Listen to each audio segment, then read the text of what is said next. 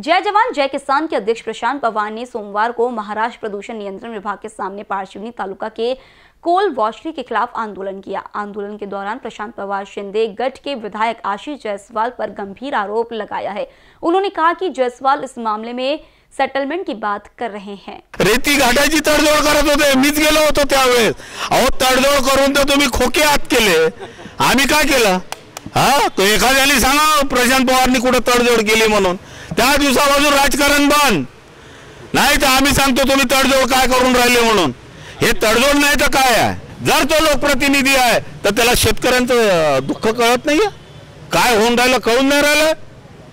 आणि ते सांगतात बांबू लावा. ते सांगतात मी शेती घेईल. अरे ठीक आहे तू आता खोके आणले म्हणून तू काही घेशील का? असं नाही होत. काय करा काय करतील जास्तीत जास्त? केसेस लावतील ना माझ्यावर? आम्ही तयार आहे केसेस झेला करता. पण शेतकऱ्यांसाठी तो कोणताही लोकप्रतिनिधी राव त्याला रस्त्यावर फिरू नाही देणार.